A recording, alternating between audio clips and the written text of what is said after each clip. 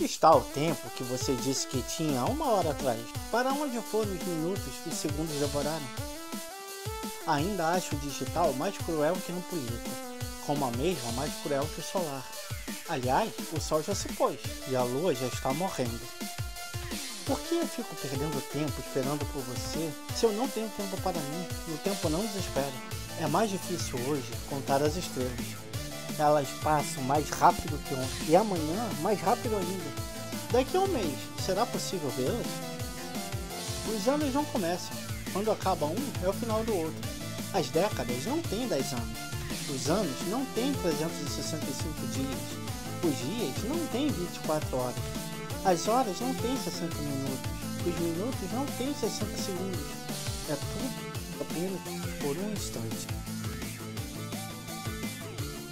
Acho isso cruel. E não sei por que perco tanto tempo esperando por você, se nem sei se você espera por mim e o tempo não espera por nós.